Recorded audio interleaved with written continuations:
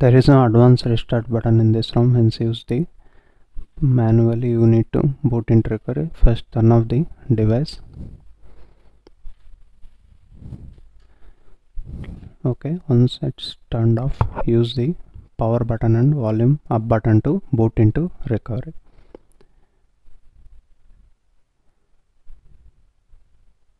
Once the Poco logo appears, you can remove the finger and power button and continuously press the volume up button.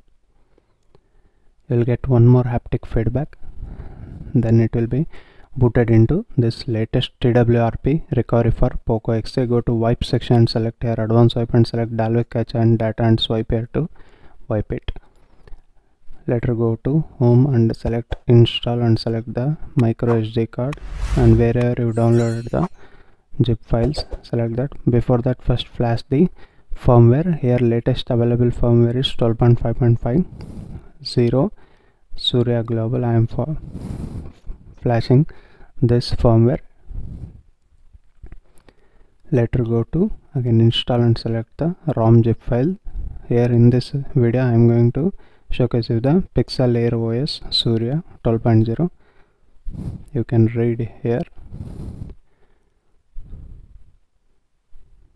with February security patch and its latest available build for this Poco X3 it takes a little bit of time to flash the ROM. Wait until it gets flashed. As you can see ROM zip file has been flashed successfully. Now go to home again and select here.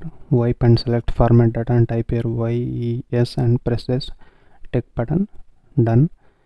Go to reboot and select system. This is how the flashing method in all the videos I will be explaining out the flashing method and all the benchmark results BGMI gameplay everything will be explained in any particular ROM you can check out all my videos and I'll be giving the links of this new TWRP recovery and also some of the firmwares in my community section. You can check out in my channel and it's booted into Pixel Air OS it takes a little bit of time to boot for first time. Wait until it gets booted and let's begin this video.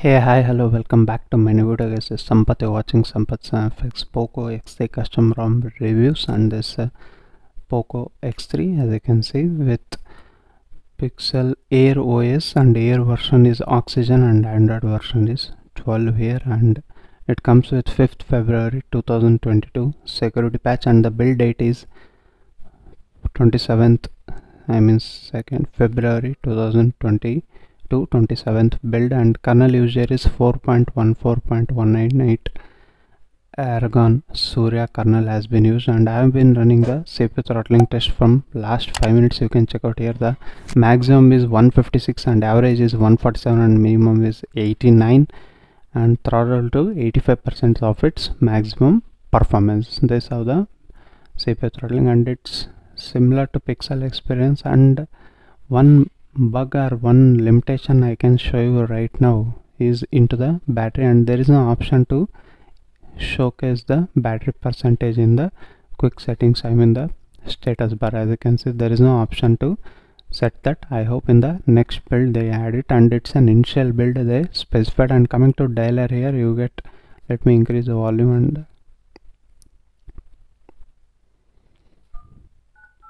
you will get direct video call. Feature is available in this ROM.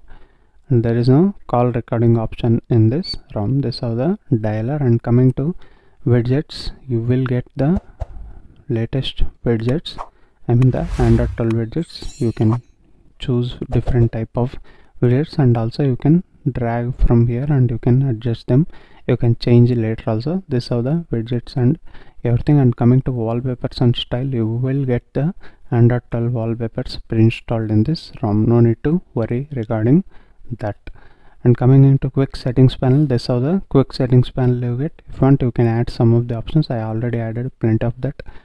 There's nothing great here.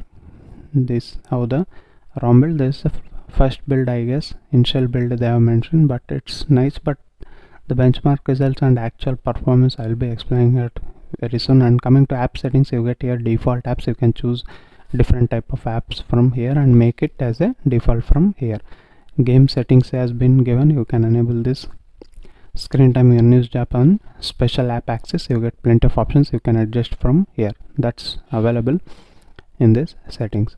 In the notifications you get app notification notification history conversation bubbles device and app notification notification lock screen sensitive notifications and do not disturb wireless emergency alert and plenty of options you can enhance notifications also. You can enable or disable from here. Into the battery settings there is no option to see the battery percentage. Forget about the style. You can't even set the battery percentage. I don't know why they skipped that but anyhow this how I want to mention it out. I have mentioned and battery usage it will not record for first boot. I don't know why it will not record but during the flashing you can see it was 98% now it's 88% it took 10% I have set up all the files and downloaded apps and installed and run the benchmark. Is fine. The battery life is initial impression is fine. Not great but definitely it's fine coming into display you get adaptive brightness lock screen settings you get plenty of options here also. Screen timeout and dark theme is given but it's not an pitch black condition it's gray type as you can see. And there is no option to choose any presets also. You can schedule it out but i don't like it. It's fine enough.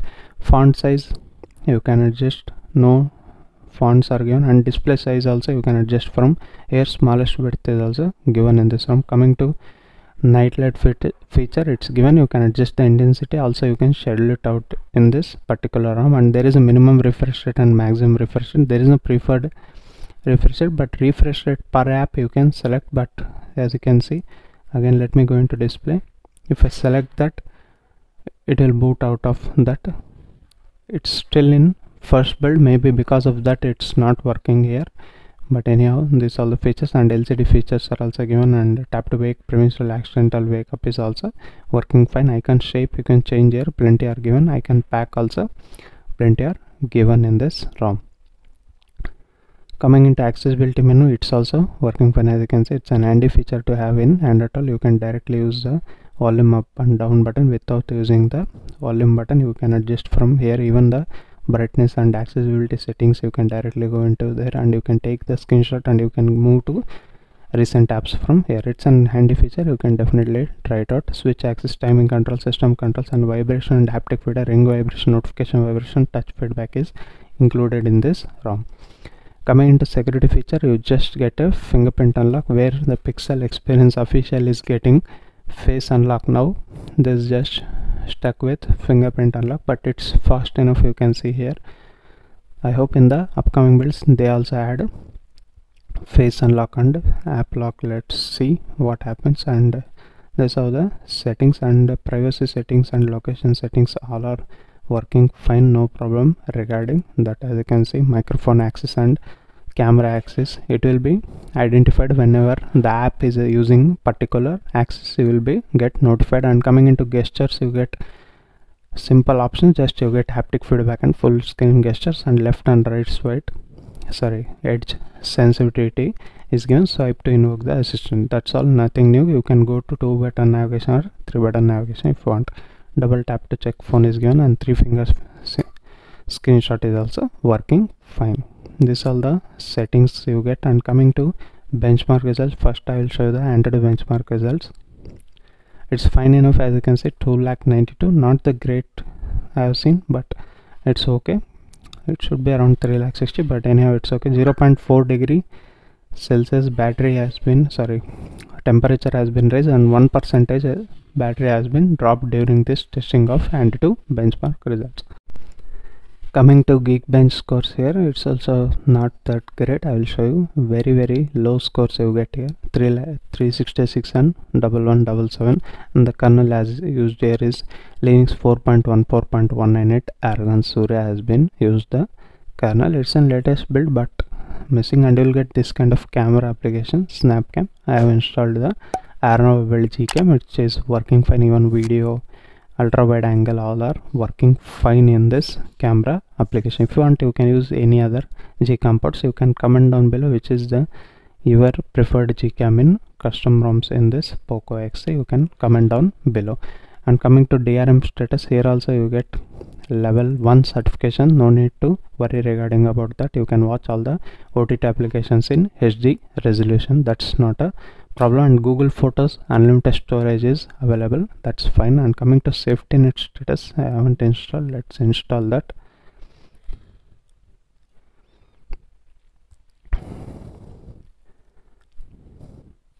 By the way you can check out the speeds also. It's quick enough.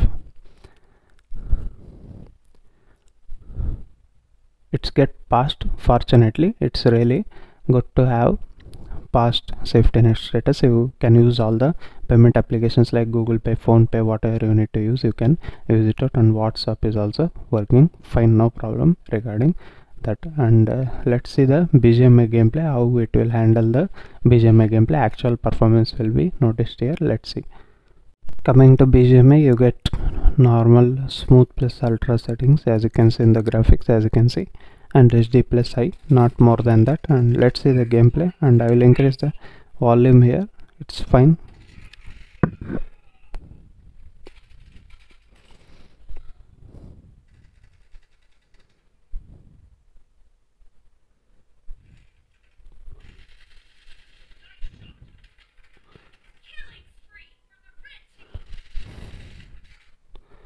It's playable but uh, definitely it would have been in 60 fps it would be even better. You can enable it out. 60 fps it's not a problem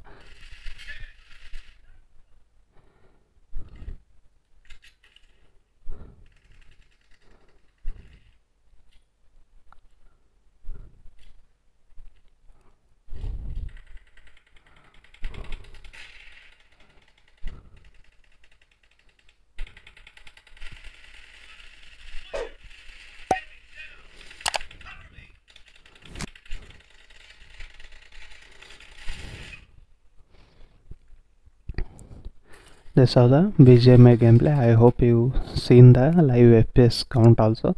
This is the pixel experience sorry pixel air OS with oxygen level and with first build. This is the Android 12 version pixel air OS for Poco X3 let's see the RAM management is still in the memory pretty good. Ram management here also and uh, that's all guys in this video. If you like the video give it a like and if you're still not subscribed to my youtube channel hit that subscribe button down below and also allow the bell notification by pressing the bell icon. Thank you for watching. We'll meet you with another interesting video. Until that keep smiling bye bye for now